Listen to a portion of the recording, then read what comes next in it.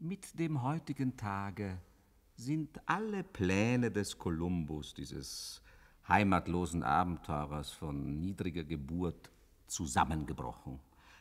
Nach jahrelangen Bemühungen in den Amtsstuben ist es ihm geglückt, vom König empfangen zu werden. Der König hat ihn abgewiesen. Dieser Mann wurde abgewiesen vom Rat der Stadt Genua. Er wurde abgewiesen vom König von Portugal. Es haben ihn abgewiesen die Regierungen von Frankreich und England.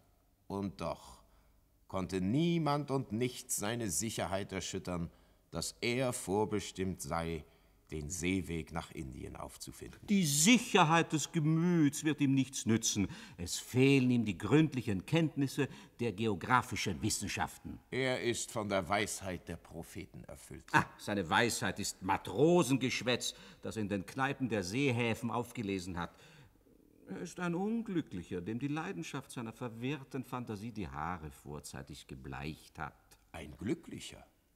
Dem die Erleuchtung des Geistes zur Richtschnur des Handelns geworden ist. Seine Laufbahn am königlichen Hof ist beendet. Der König hat ihn sehr ungnädig abgewiesen. Seine Laufbahn am königlichen Hof beginnt. Die Königin wird ihn auf Betreiben ihres Beichtvaters sehr gnädig empfangen.